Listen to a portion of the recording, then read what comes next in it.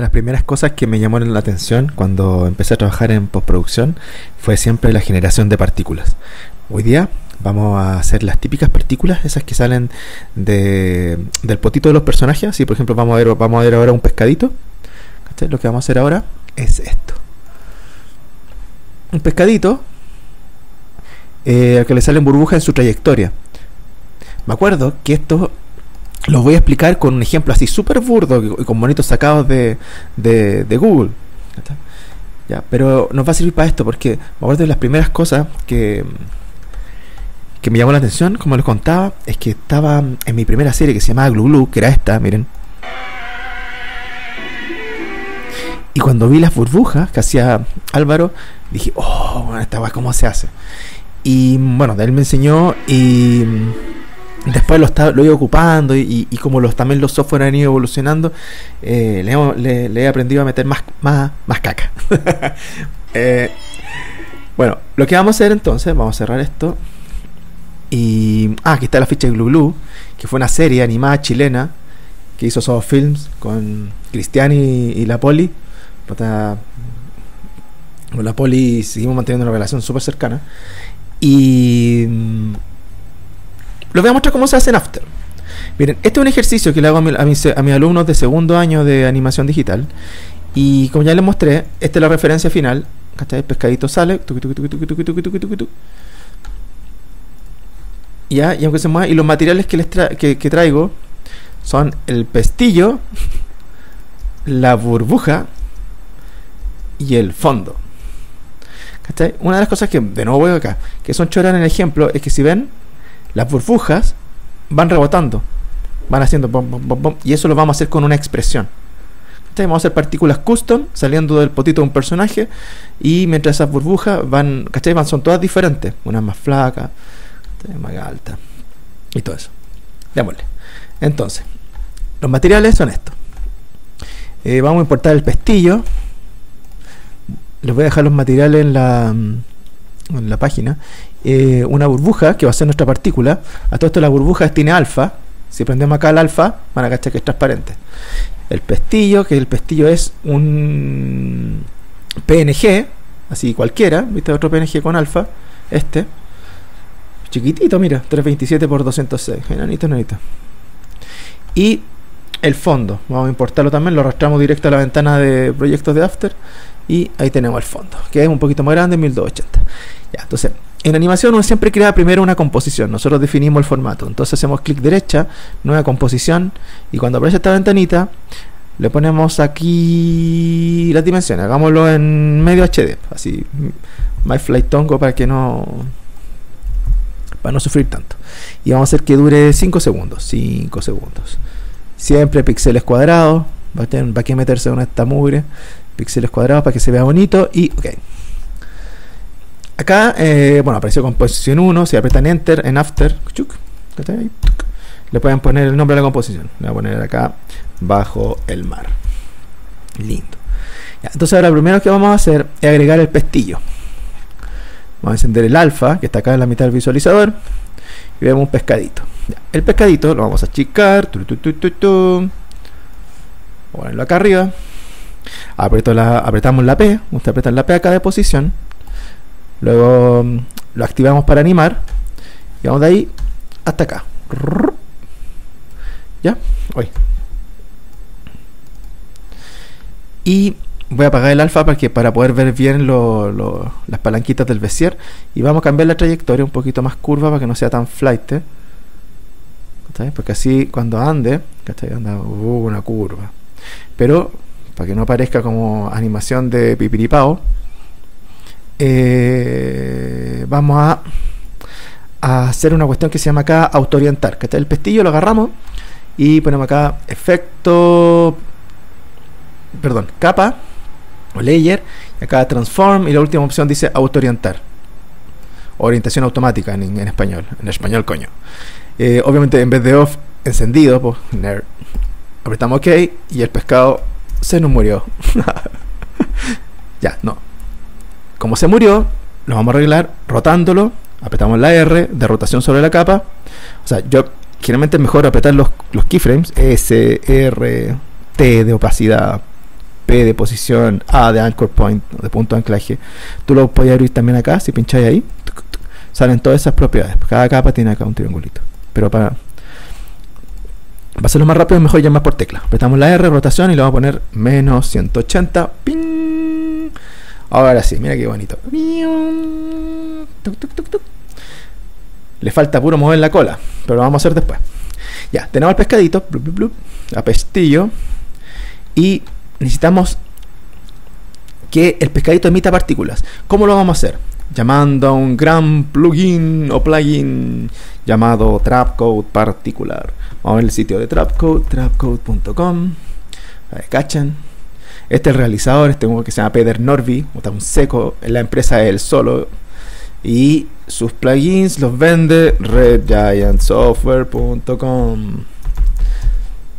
Si algún día tienen plata, cómprenlo. De verdad son herramientas y lo hacen gente así que de verdad es aperrada y y gente como de la independencia del cine. ¿cachai? Que todas estas son herramientas que te permiten, en el fondo, hacer pega profesional a un cienavo de lo que salía hace 15 años. Así que, filete. Ya estamos acá, esta es la página de Trapcode. Si quieren, ahí está el Trapcode. Hay varias herramientas, o sea, varios plugins. El, más choro que vamos a ocupar hoy día es Particular. Entonces, todos los Trapcodes se agregan en sólidos. Entonces, nuevo, sólido, tum, Sólido blanco, ok. Da lo mismo el color. Ah, si quieren cambiar el color de un, el color de un sólido, es eh, en, Mac es Comando Shift Y.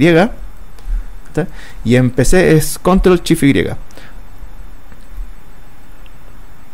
Bueno, la cosa es que vamos a cambiar a color a mi color favorito, mi color color Barney y vamos a agregar acá particular y le llamo, le llantamos el particular y que tenemos un pompón de partículas saliendo a la mitad de la pantalla que no sirve para nada. Entonces, ¿cómo hacemos para que este emisor, ¿cachai? Que esta cuestión que está emitiendo partículas se pegue a la cola del personaje y emita desde el mismo? O sea, es así, es re simple. Paso número uno. Al pestillo, que es nuestro emisor, le apretamos la P para revelar su posición. Luego, a la capa que contiene partículas, al, o trapcode particular, le vamos a poner primero el nombre, partículas pez. Y vamos al emisor, acá arriba, emitter, y vamos a seleccionar aquí, position X Y. Vamos a hacer alt clic en la posición X Y. Ahora sí que haciendo alt clic sobre el reloj de animación, esto se va a poner negro. Y acá abajo aparece una expresión. Lo choro es que para no meter código, aquí podemos hacer eso mucho más simple con este mini lazo. Entonces vamos a atar que este valor que se llama posición X Y le copie el valor a la posición del pescadito. Vamos a pinchar aquí la cola, arrastramos hacia abajo y lo pegamos al parámetro de posición del pez. y soltamos. ¿Cachai? Automáticamente se llenó el código, pinchamos fuera para activarlo y ¿cachai? Vamos a hacer de nuevo el Run Preview. Para no apretar este botón, lo pueden hacer con el botón 0 del pad numérico. ¿Ven? Y ahí tenemos nuestro pescadito emitiendo las partículas. Claro, parece que estuviera como diarrea de cabritas. Pero la, claro, la idea es que esto sea un hilo continuo, no un no este como chisporroteo. Entonces, ¿qué vamos a hacer? Meternos los parámetros acá del, del programa. Entonces, primero, ¿Qué tipo de emisor? Punto, sí, es un punto, está bien. Eh, pero donde dice direction, en vez de uniform, vamos a ocupar directional. Miren lo que va a pasar al tiro. Al poner directional, las partículas al tiro se ordenan convirtiendo hacia un punto. Generalmente, en particular, si tú pones esto y no movís nada acá de las rotaciones, esto está apuntando hacia la cámara. Entonces, eh, si estuviéramos como girando cámara y haciendo cosas más complejas, se vería que está emitiendo para el lado y no hacia atrás. Entonces, lo que vamos a hacer vamos al tiro modificar el valor i. Fíjense, si giramos el i, se nota el tiro que estamos en un espacio 3D. Entonces, vamos a girar en más 90 para que imita hacia el lado derecho. Igual ahí se me anduvo medio corriendo. Pero no importa, vamos a bajarlo ahí para no enredar mucho el ejercicio. Podríamos. Ah, ah la inercia en particular es por este parámetro, velocity from motion. Entonces, esto hace que las partículas se vean más o menos afectadas por, la por, el, movimiento del personaje. Si ponemos esto ahí a todo chancho, miren, las partículas se ven afectadas por el movimiento. Eso es choro también. Entonces lo vamos a dejar bien bajito porque en el fondo no, no, es la idea. Ya, vamos a cerrar esto. Eh, y primero hay muchas partículas. Entonces vamos a poner 10 partículas. Ahí, poquito. Ya, primero, em, no queremos que sean círculos, pues queremos que sean em, burbujitas. ¿Cacharon a todo esto? Esto, ¿cómo se hacía? Acuérdense, que patar, para atar el emisor de partículas, de particular, a cualquier otra capa, a la posición de un objeto nulo o cualquier cosa, tú le haces alt clic, ahí, y después aparece el mini lazo acá y lo une al parámetro posición del, del emisor. Ya. Vamos de nuevo a la ventana proyecto. Listo. ¿Qué nos falta acá? Nos falta la partícula, pues nos falta la burbuja. Entonces vamos a agarrar la burbuja y la vamos a poner dentro de la composición. Claro, no la podemos usar así de grande, entonces les vamos a apagar el ojito, porque en el fondo lo que vamos a hacer es que esta capa de particular llame a la capa burbuja para emitir. Entonces hagámoslo. Seleccionamos la capa, vamos acá donde control de efectos y uno dice particle y dice particle type, esfera. No, pues no es esfera. Vamos a hacer la familia de los partículas custom. Son dos familias, los sprite y los textured polygon. ¿Cuál es la diferencia entre los dos? Los sprites son partículas que siempre miran a cámara. Y los textured polygon son partículas que pueden girar. Pero como no son partículas full 3D, van a girar como papelitos, así como, como, como papel picado. Entonces cuando gire se va a ver que es un que no tiene extrusión, que es flaquito. Como, como si tiráramos papel eh, papel lustre. Entonces vamos a dejar en sprite. Y acá nos dice textura. Textura para el sprite. Y donde dice layer nos pregunta, ¿dónde está la partícula? En este layer chocado, burbuja. Entonces, miren lo que está pasando. Mira. Eh, están saliendo burbujitas. Salen todas iguales. Pero vamos a empezar a cambiar eso. Primero, Size, el tamaño. Aumentemos el, tamaño de las burbujas a un tamaño que nosotros consideremos óptimo para nuestra animación. Y luego todos los parámetros importantes de particular tienen este, este parámetro que se llama size random. Si ustedes lo aumentan, fíjense lo que pasa.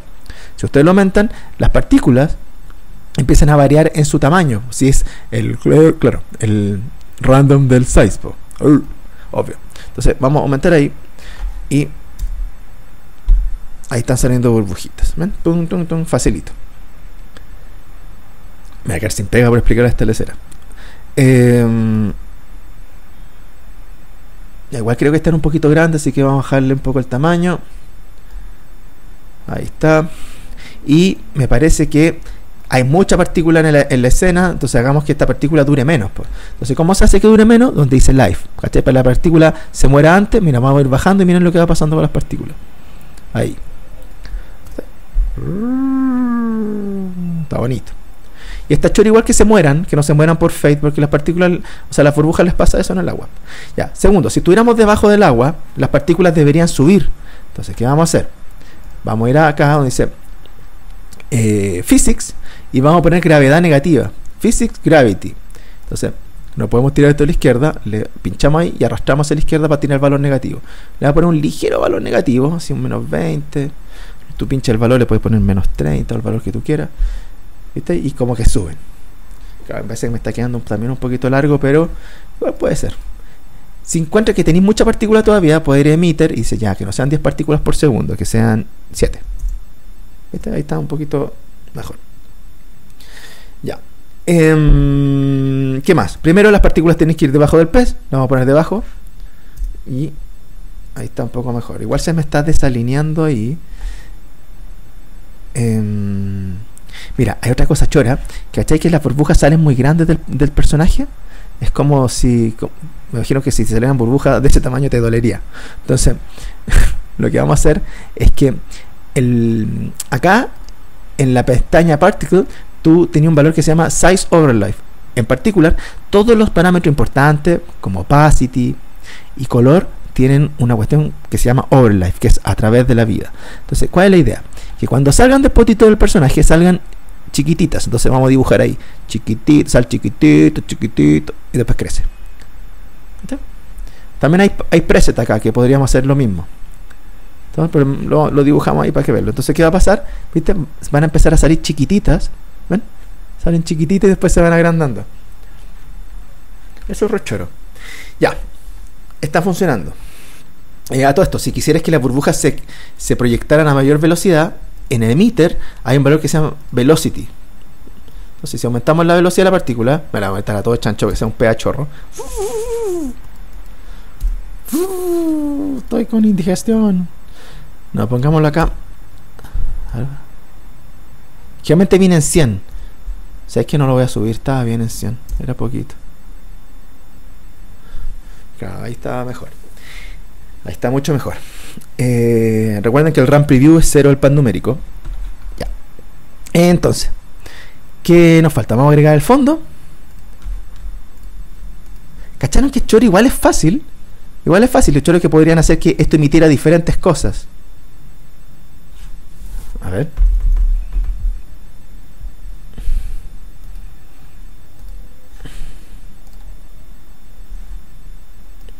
Vamos a hacer un experimento. ¿Qué pasa si este pez le quisiéramos poner otra, otra partícula? Algo legal, algo que no haga mal.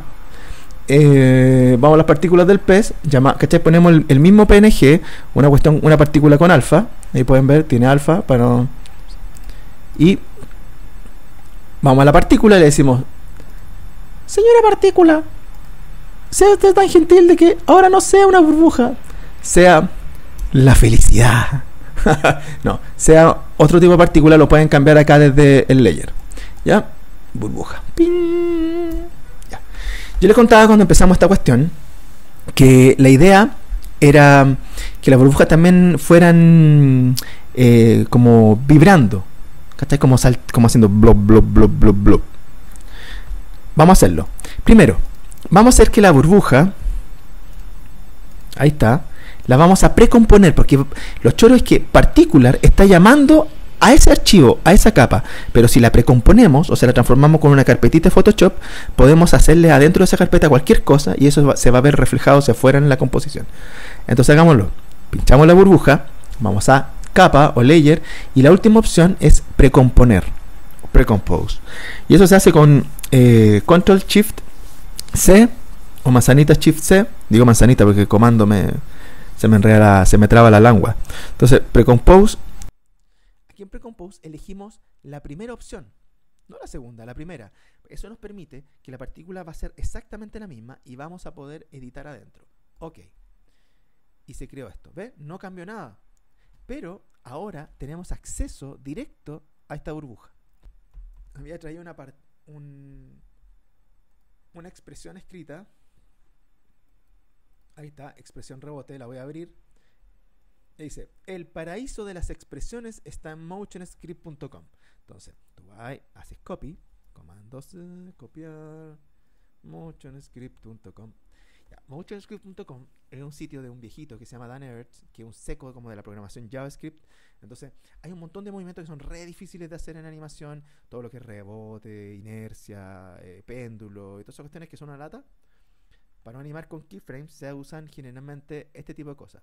Y acá hay un otro que se llama Expressions Lab en el motionscript.com donde tiene un montón de cosas choras. Por ejemplo, un péndulo. Si estamos trabajando en animación, ¿para qué vamos a hacer un péndulo animado con keyframes? Nos volvemos locos.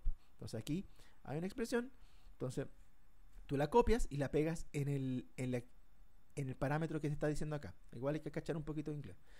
Eh, pero no importa. Bueno, la cosa es que yo saqué acá el Square and Stretch, este, Fíjense la animación arriba, los monitos caen, saltan. ¿Cachai? Que lo que hace es estirar el personaje desde, su punto de anclaje. Entonces, ¿qué vamos a hacer? Dice acá. Agregue la siguiente expresión a la propiedad de escala de cada una de las piezas. Entonces, vamos a hacer acá, seleccionamos copy, clic derecha, copiar, y vamos a ir a after, y le vamos a decir ¿En qué propiedad era? ¿En la escala? En la escala. Entonces vamos acá y hacemos escala S. y hacemos alt clic. Recuerden, todas las expresiones y cuando copiamos parámetros se hacen con alt clic sobre el reloj de, de, animación. O sea, para decirlo fácil, cada vez que hay que hacer una, una cuestión enredada y compleja, hay que hacer alt clic en el reloj. ¿Ya? O sea, hacemos alt clic en el reloj y borramos lo que dice ahí y pegamos la expresión que acabamos de sacar de motionscript.com. Entonces, vamos a ver qué está pasando. La expresión, como pueden ver acá, tiene esta expresión tiene unos parámetros acá de rebote, ¿ven? Entonces tiene desviación máxima, velocidad y decaimiento. Entonces, ¿qué hay que hacer? ¿Cachai? Que la partícula se, se decae, como que se va deteniendo, y justamente eso no es lo que necesitamos, porque nosotros queremos que la partícula esté para siempre moviéndose. Entonces, decaimiento, cambiamos acá el parámetro, 0. Y este me decía acá, este caballero hasta te da la explicación. ¿Cuán rápido se enlentece? extraordinario. Esos letreros como de las farmacias o esas cuestiones así como de los comerciales, así como aparece el precio de la carne y la oferta del supermercado, está lleno de este tipo de expresiones, así como que los precios salen como si estuvieran batiéndose en una ventana, cosas así, son, son re simples de hacer. Em, pero con eso, vayan a y pueden mirar. ¿Caché que ahora la, partícula no se decae? pero está vibrando muy rápido. Entonces vamos a bajar el speed, quizá valor 10, no 30. Vamos a ir viendo cómo se comporta. Claro, ahí me gusta más, pero se está deformando mucho. Entonces en vez de desviación máxima 13, pongámosle 5. Y vamos a ver si me gusta. Sí, eso me gusta mucho más. Lo voy a dejar así igual. Está exagerado, pero para que lo podamos ver en la pantalla del tutorial. Ya, vamos a dejarlo ahí. Volvemos a la, cuestión principal y quiero que cachemos. Miren. Todas las partículas ahora tienen esta vibración. Bueno, más de algunos de ustedes, o sea, hay, a veces me, cuando, cuando explico esto me dicen, oye, pero todas las partículas se mueven iguales. Sí, igual, eso es un problema, pero se puede solucionar. La gracia acá de particular es que hay un parámetro que, no, que me salté cuando estamos viendo esto, que cuando uno selecciona sprite y después pone layer y selecciona la bruja, abajo hay un valor que se llama time sampling. Ese time sampling dice current time, que es como el tiempo actual. Current time pero tiene diferentes formas de interpretar el tiempo. Una bien chora es el random loop, que en el fondo cada partícula que sale se emite desde ahí, pero al azar en el tiempo. Entonces eso hace que, por ejemplo, ahora todas las partículas, a pesar de que están animadas dentro, tienen un tiempo diferente. Algunas están para arriba, para abajo. ¿Cachai? Así de simple, random loop. Em, eso se ocupa N, para darle más variabilidad o más cuestión, sorpresa. Ya. La cosa es que si tenemos un fondo, ahora para terminar el ejercicio rápido, tenemos un fondo y queremos que sea B acuático, existe un efecto acá que se llama Turbulent Displays, Turbulent Displays, al fondo, ¿ven? Se empieza a mover, pero si ponéis preview no se ve nada. Muchos efectos de after tienen ruedas de evolución o de fase. Cada vez que ven una rueda, tienen que activar. Una forma rápida de activar ruedas es con expresiones. Entonces aquí activemos al tiro, que quede girando como siempre sin parar. Entonces vamos a hacer alt clic, ¿viste? alerta de cosa complicada. alt clic en el reloj de evolución. Entonces aparece el código y escribimos time asterisco 50 que sea lentito. En realidad la expresión time es como mueve esa rueda en el tiempo a esa velocidad. Eh, hasta, hasta donde yo sé, ese número no tiene un valor específico, no es veces por segundo ni nada raro. Es un valor. Vamos a ver time por 50, que yo cacho que es más o menos lento. Entonces, fíjense que se empieza a mover al tiro al fondo que le pusimos este efecto de desplazamiento. ¿Ya? No lo quise poner en una capa justa arriba de todo, pero es por último para que cachen cómo se hace. ¿Ya? Ahí tenemos una, una agüita de un Turbulent Displays. Vamos a cerrar acá. Y listo. Una de las cosas choras. Mira, igual, qué bueno que, estoy explicando lo de las expresiones. Las dos expresiones más típicas de After son wiggle y time. Ya que acabamos de ver la time, si viene una capa que tú le agregas eh, expresiones, apretas la E, aparece la expresión. Es como bien típico. E, expresión. S de escala y P de posición. Y eso. Ya, tenemos el tiempo y creo que voy a dejar el tutorial hasta ahí porque podría explicar lo del Puppet Tool. Ah, no, sé que lo voy a explicar al tiro, si filo. Si no, no creo que. después no voy a tener mucho tiempo. Ya. Em, tenemos el pestillo. Eh, y lo vamos a precomponer. Seleccionamos el pez. voy a explicar el Puppet Tool, esa herramienta que está ahí, que sirve para como deformar cosas. El pestillo lo vamos a precomponer, layer, precomponer, control shift C. Y vamos a dejarlo igual que la otra opción. Seleccionamos la primera opción para poder después entrar y editar el original. Miren, vamos a apretar OK ahí y tenemos el pez. Ahí mismo no pasa nada, pero si hacemos doble clic sobre esa capa, ahora entramos y podemos editar el original. Lo que vamos a hacer acá es activar esta herramienta que se llama Puppet Tool. El Puppet Tool es una especie como eh, deformador, curioso, porque funciona como si tuviera, tú vas poniendo puntos, por ejemplo, en un objeto como este, y después lo podéis deformar como si tuvieran huesos, como si existiera alguna mm, cosa que uniera a los puntos entre sí. Entonces, ¿cachai? Puse puntos por la orilla, voy a poner un punto ahí. Después con la flecha lo seleccionas y tú, después que cada punto lo puedes mover como si fuera un huesito.